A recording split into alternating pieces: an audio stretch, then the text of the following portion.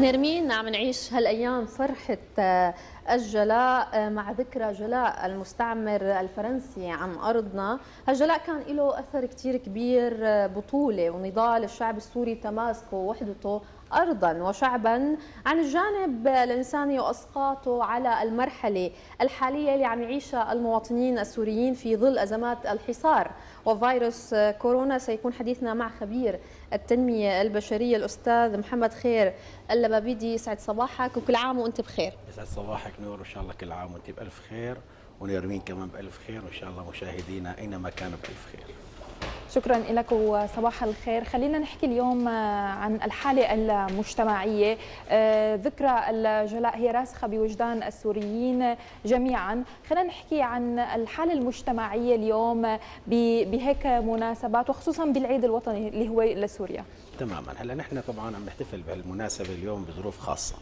أنا بدي أقول هذا الجلاء ما كان ليتم لولا إرادة المقاومة وحركات المقاومة اللي كانت تتم على هالأرض السورية لأنه أي احتلال يقام على على الطريقة العسكرية لابد من مقاومته. يعني عسكري إحنا بنعرف دائما بنقول إنه ما أخذ بالقوة لا يستعاد إلا بالقوة.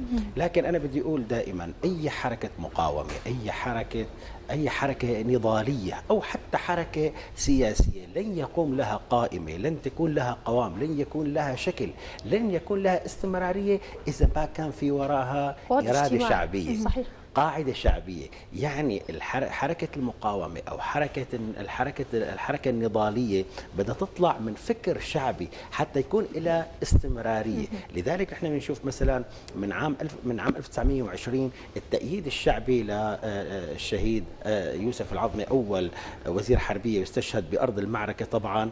الاحتضان اللي تم لبنته بعد استشهاده الاحتضان اللي تم اللي بقيوا من المعركة مثلا وتمجيدهم كان مرسوخ طبعا بفكر الشعب السوري لحتى إجت سنة الاستقلال ورحل عن بلدنا آخر جندي فرنسي.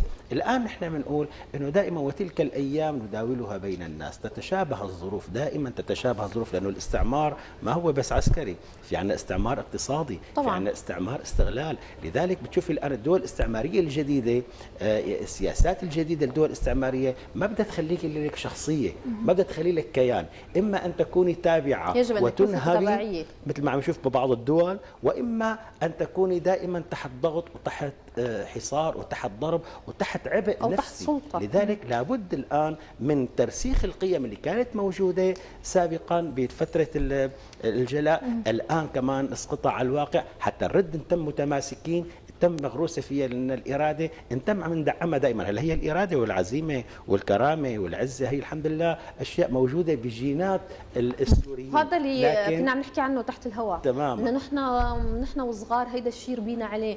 نحن مفهوم القضية الفلسطينية فلسطين داري ودرب انتصاري. الشعب العربي السوري كانت بوصلته الدائمة القضية الفلسطينية. نحن هيك ربيانين نحن وصغار. المفهوم الاجتماعي كيف الأم بتربي ابنها بتربيه على حب الوطن إنه نحن بدنا ندافع عن أرض وطننا. دائما للبعد الاجتماعي له أثر كثير كبير مثل البعد السياسي. إذا بدنا نحكي والبعد الاقتصادي اليوم في الظروف اللي عم تعيشها سوريا تسع سنين من الحرب ما زال الشعب السوري عم يحاول يكون صامت في وجه حرب كونية مش مستعمر واحد للأسف أكثر من دولة. خلينا نحكي قديش فعلا هيدا البعد الاجتماعي والتربية البيئية الصحيحة بالمجتمع اليوم إلى أثر كثير كبير بحياتنا. شوفي نور أنا دائما بقول يعني بكل لقاءاتي بكل محاضراتي بكل برامجي إذا ما يعني أنت كنت مهزوم من الداخل قوى الأرض ما بتحسن تهزمك.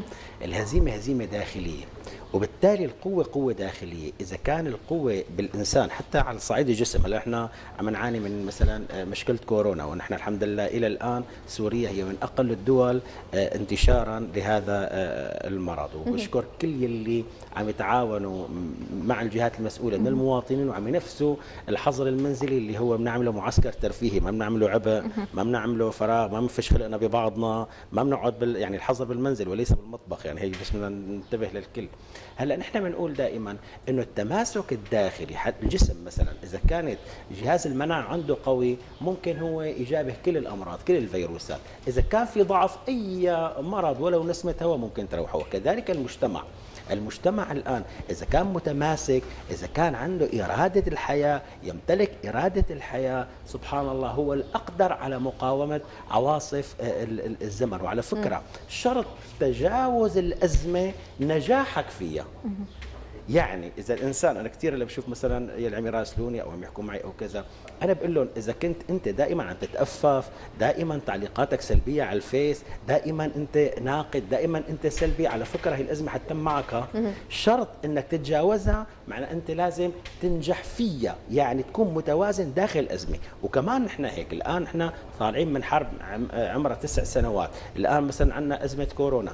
طبعا هي أزمة عالمية. الآن أهم شيء وهي يعني مسؤولية المجتمع ومسؤولية الجهات المسؤولة أنه نحن نتم متماسكين نتم متوازنين. يكون عندنا ثقة عندنا ثقة مثلا بغذائنا بأمننا الغذائي عندنا ثقة بحالتنا الاقتصادية عندنا ثقة مثلا بجهاتنا المسؤولة عن القطاع الصحي. حتى نحسن نحن نكون عندنا استمرارية. شوفي ب بعام 1920 وقت دخل غورو سوريا وصارت معركة ميسلون واللي بيقولوا عنها إنه هي يعني من من من, أكبر المعارك تصوري رغم إنه الجيش كان مسلح تسليح بدائي لكن من أكبر المعارك اللي عاناها الجيش الفرنسي. كان السبب شو؟ كان التماسك، كان كان قناعة المقاتل السوري بنفسه، كان قناعة المقاتل السوري بصوابيه آه، آه، موقفه بحقه بدفاعه عن أرضه، لذلك كانت مستمرة. وما انتهت معركة ميسلون عام 1920 بالعكس استمرت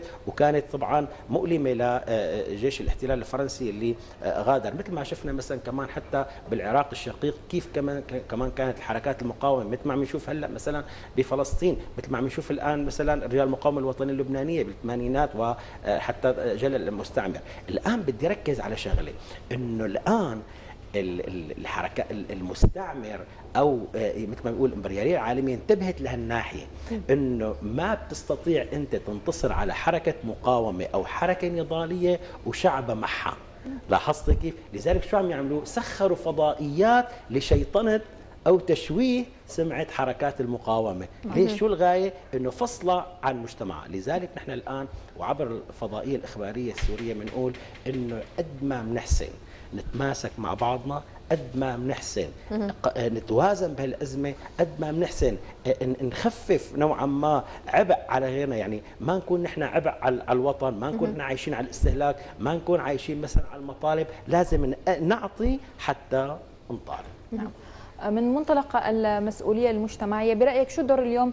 آه، لازم نلعبه كأفراد من الخلية الصغيرة من الأسرة اليوم بهذا الوقت اللي عايشينه؟ إذا بدنا نحكي عن الكورونا فهي أيضا هي خطر آه، عم عم يكون على كل الوطن مو بس على أفراد معينين. برأيك شو الدور اليوم لازم نلعبه؟ هلا شوفي عدالة العقل عدالة حلوة كثير. العدالة العقلية بتقول لك إذا فتحت أنت مجال مشي فيه العقل.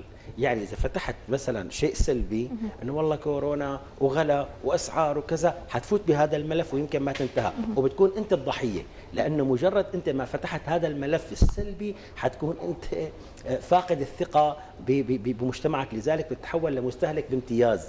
لاحظتي كيف إنه أنا بدي أصير استهلك بدي آخذ حتى أكثر من حاجتي حتى لأنه الظروف مالي ضامنها انتبهت علي كيف؟ لكن بالجهة الأخرى إنه ممكن نحن نفتح الملف الإيجابي إنه نحن الحمد لله عندنا خبرات يعني طول عمرنا نحن في عندنا أزمات في عندنا معاناة والحمد لله عم نتجاوزها سواء كان الأولين ولا الآخرين. يعني حتى أزمة الحرب الكونية على سوريا تسع سنوات يعني لا تقارن شدتها وبأسها والظروف اللي مرنا فيها بالظروف الحالية. يعني الآن الحمد لله نحن أمام الكورونا ما هي هذاك الوهم يعني ببلدنا؟ لأنه نحن يعني إلى الآن الإصابات عندنا محدودة إذا التزمت العالم بالإجراءات واذا التزمت البيت هي إجراءات استكمالية من الحكومة والمواطن عليه مسؤولية كثير كبيرة اليوم لاستمرار هي الإجراءات الوقائية للتصدي لفيروس كورونا. بالختام آه، بدنا نتشكرك نتمنى لك الخير والصحة وينعاد عليك على كل السوريين بألف خير. شكرا نور شكرا نرمين إن شاء الله كل عام وأنتم بألف خير وتحية كبيرة للشعب السوري الملتزم بالإجراءات الصحية إن شاء الله. شكرا لوجودك معنا.